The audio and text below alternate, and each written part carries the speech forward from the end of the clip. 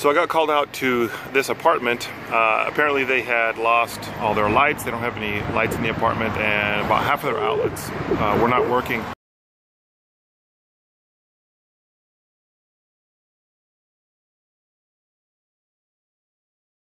Uh, so I get there, ask a bunch of questions, um, find out what they had turned on. Um, I ask them if they smelled anything uh, funny or odd. Uh, and then um, I went outside and checked the circuit breaker, uh, which is basically routine um, when I don't know where the problem is at. So I checked the circuit breaker and sure enough it's tripped. Uh, after uh, resetting it a couple of times, I find that the breaker remains tripped and then did a simple test to see if the breaker uh, was good or bad. So this is how you test a circuit breaker that keeps tripping. Off and then on and it trips, off, on, and it trips. We're gonna find out where the problem is right now. We're gonna disconnect this wire here. If the breaker resets, the breaker is okay, circuit's bad. If the breaker won't reset, then the breaker is bad.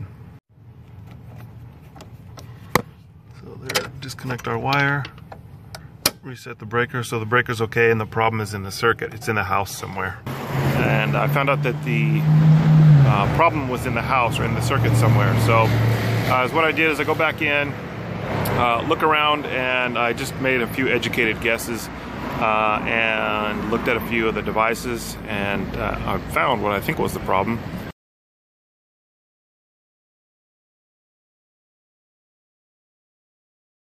Um, after that, um, I pulled the pulled the outlet out that uh, looked like it was uh, burned out, and it barely had cracked in half. Actually, I'm not sure why. Maybe they're kicking it or something. I don't know. Um, I removed the outlet from the circuit. Um, there was some wires that were shorted out, melting inside there.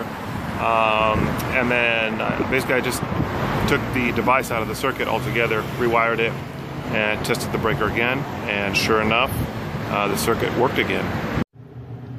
Let's test this thing.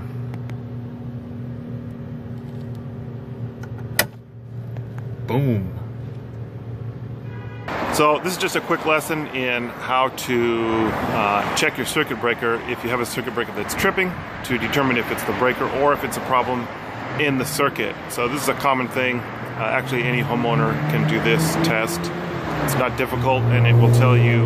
Uh, it'll give you a better idea of where the problem is. I mean, if you need to replace a circuit breaker, that's easy enough to do. Uh, or if the problem is in the circuit, it'll let you know it's in the circuit and not the breaker. So it's just information that's going to help you find out where your problem is if you have a breaker that's tripping. So pretty easy stuff, and hope this one helps.